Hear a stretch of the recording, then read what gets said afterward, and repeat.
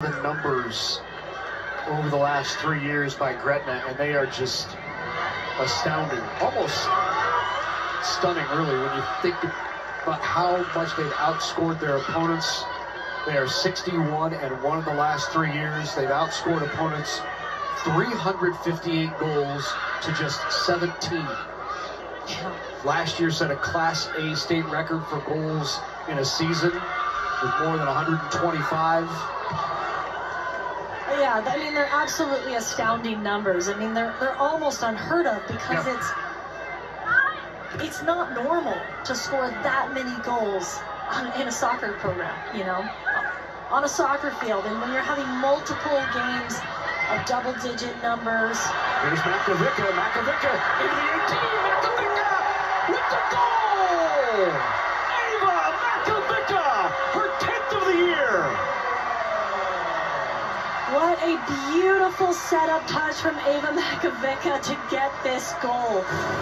The first touch here to push past the defense, pulls out the, the goalkeeper, and then it's a nice, easy pass to the far post.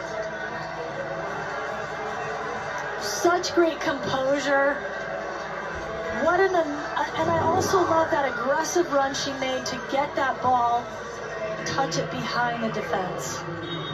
She's headed to Nebraska to play for John Walker next year down in Lincoln.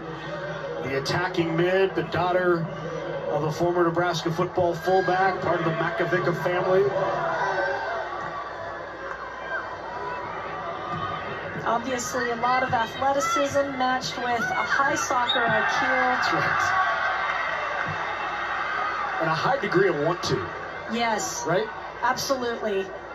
I think sometimes people forget just how important that whole competitive nature, that that desire to do whatever it takes to get the ball, get it in the net. I call it competing, but it's it's doesn't seem to do it justice. That word.